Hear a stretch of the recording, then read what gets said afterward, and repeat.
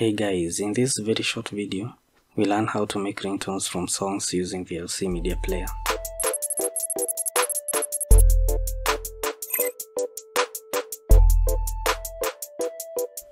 I'll teach you how to make ringtones from an MP3 or a video that has a long unwanted segment at the beginning of the song. Here are my two files, an MP3 and a video. Let me start with the MP3. I'll right click and open with VLC. When I play the MP3, you'll notice about 7 seconds of silence.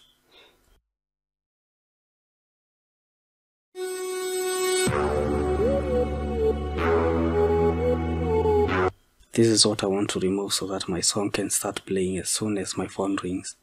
To be able to do so, we need to activate some controls that are usually hidden by default.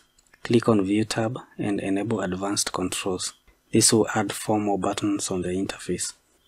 I will once again play my music and take note of where the part I want begins.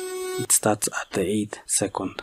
For accuracy, I'll press Ctrl plus T on my keyboard so that I'll be able to set the playhead at exactly 8 seconds.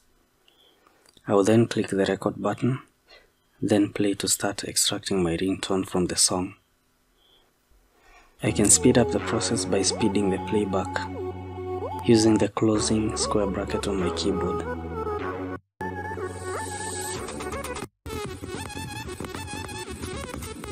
This will not affect the converted MP3 file. Once I have had enough, I'll stop the recording, then stop playback.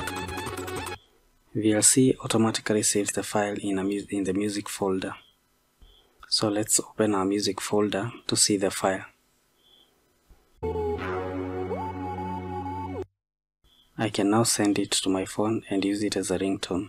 For videos, it's pretty much the same process, only that you'll need to convert the recorded video to an MP3 afterwards. If you don't know how to convert videos to MP3, check out this video on how to do it. If you like this video, give a thumbs up and don't forget to subscribe for more amazing tutorials.